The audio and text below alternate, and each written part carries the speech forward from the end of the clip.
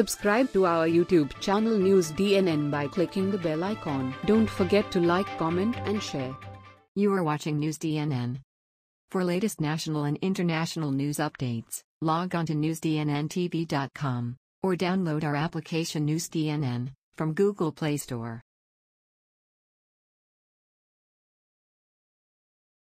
गन्ना किसानों की ओर से अपने गन्ने की बकाई राशि लेने के लिए लोक भलाई, इंसाफ वेलफेयर सोसाइटी की अगुवाई में पिछले तीन दिनों से धरना दिया जा रहा है। यह धरना रात दिन दिया जा रहा है। इस मौके बात करते हुए किसानों ने बताया कि हमारे पिछले तीन सालों के गन्ने के बकाया राशि नहीं मिल रही, जिसके चलते हम लोग पिछले तीन दिनों से रात दिन धरने दे रहे हैं। पर कोई प्रशासन का अधिकारी हमारी हाल जानने के लिए नहीं आया इसलिए हम सरकार से मांग करते हैं कि सभी किसानों की गन्ने की बकाया राशि जल्द से जल्द दी जाए नहीं तो हम इस संघर्ष को और भी तेज करेंगे ਅੱਜ ਇਹ ਜਿਹੜਾ ਧਰਨਾ ਦਿੱਤਾ ਜਾ ਰਿਹਾ ਹੈ ਇਹ ਲੋਕ ਭਲਾਈ ਇਨਸਾਫ ਵੈਲਫੇਅਰ ਸੁਸਾਇਟੀ ਤੇ ਸਮੂਹ ਕਿਸਾਨਾਂ ਵੱਲੋਂ ਦਿੱਤਾ ਜਾ ਰਿਹਾ ਇਹਦੇ ਵਿੱਚ ਤਿੰਨ ਸੀਜ਼ਨ ਪਿਛਲੇ 17 18 18 19 ਤੇ 19 20 ਦੇ ਜਿਹੜੀ ਪਿਛਲੀ ਬਕਾਇਆ ਗੰਨੇ ਦੀ ਰਾਸ਼ੀ ਮਿੱਲਾਂ ਵੱਲ ਸਹਿਕਾਰੀ ਮਿੱਲਾਂ ਤੇ ਪ੍ਰਾਈਵੇਟ ਮਿੱਲਾਂ ਵੱਲ ਹੈ। ਉਹ 17 18 ਦੀ ਜਿਹੜੀ ਆ 500 ਕਰੋੜ 18 19 ਦੀ ਸੈਂਕੜੇ ਕਰੋੜ ਤੇ ਅੱਗੇ 19 20 ਦੀ ਵੀ ਸੈਂਕੜੇ ਕਰੋੜਾਂ ਰੁਪਏ ਜਿਹੜੀ ਹੈ ਉਹ ਰਾਸ਼ੀ ਹੈ ਤੇ ਕਿਸਾਨ ਇਸ ਵੇਲੇ ਦੁਖੀ ਹੋ ਕੇ ਇੱਥੇ ਬੈਠੇ ਨੇ। ਉਹਨਾਂ ਦੇ ਕੋਲ ਬੱਚਿਆਂ ਦੀਆਂ ਫੀਸਾਂ ਵਾਸਤੇ ਪੈਸੇ ਨਹੀਂ, ਅੱਗੇ ਬੱਚਿਆਂ ਦੀਆਂ ਐਡਮਿਸ਼ਨਾਂ ਕਰਾਉਣੀਆਂ, ਕਿਤਾਬਾਂ ਵਾਸਤੇ ਕੁਝ ਨਹੀਂ। ਉਹਨਾਂ ਦੇ ਕੋਲ ਅੱਜ ਦੁਖੀ ਹੋ ਕੇ ਸਰਕਾਰ ਦੇ ਖਿਲਾਫ ਇੱਥੇ ਬੈਠੇ ਨੇ। ਇਹ ਸ਼ੂਗਰ ਮਿਲ ਪਨਿਆੜ ਦੇ ਗੇਟ ਦੇ ਇੱਕ ਸਾਈਡ ਤੇ ਧਰਨਾ ਲਾਇਆ।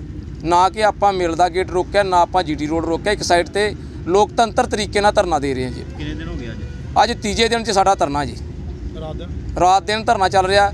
ਸਾਡੇ ਧਰਨੇ ਦੇ ਵਿੱਚ ਕਿਸਾਨ ਜਿਹੜੇ ਦਿਨੇ ਆਉਂਦੇ ਨੇ ਉਹਨਾਂ ਦਾ ਵੀ ਪ੍ਰਬੰਧ ਜਿਹੜੇ ਰਾਤ ਨੂੰ ਆਉਂਦੇ ਉਹਨਾਂ ਦੇ ਬਿਸਤਰਿਆਂ ਦਾ ਪ੍ਰਬੰਧ ਗੱਦਿਆਂ ਦਾ ਪ੍ਰਬੰਧ ਬਹੁਤ ਵਧੀਆ ਅਸੀਂ ਸਿਸਟਮੈਟਿਕਲ ਚੱਲ ਰਿਹਾ ਰਹੇਗਾ ਇਹ ਜਿੰਨਾ ਚਿਰ ਤੱਕ ਸਾਡਾ ਸਰਕਾਰ ਕੋਈ ਫੈਸਲਾ ਨਹੀਂ ਕਰਦੀ ਪੈਸਿਆਂ ਦਾ ਉਹਨਾਂ ਚਿਰ ਤੱਕ ਸਾਡਾ ਇਹ ਲੋਕਤੰਤਰ ਤਰੀਕੇ ਨਾਲ ਧਰਨਾ ਚੱਲਦਾ ਰਹੇਗਾ ਜੀ।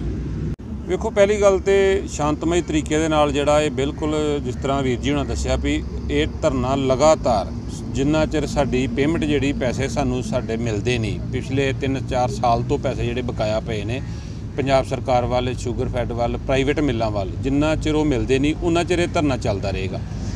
ਲਾਸਟ ਇਹ ਆ ਵੀ ਜੇ ਕਿਸੇ ਕਾਰਨ ਸਾਨੂੰ ਸਮੇਂ ਸਿਰ ਨਹੀਂ ਸਾਡੀ ਸੁਣਵਾਈ ਹੁੰਦੀ, ਤੇ ਆਪਾਂ ਕੁਝ ਇਹੋ ਜਿਹਾ ਐਕਸ਼ਨ ਲਵਾਂਗੇ।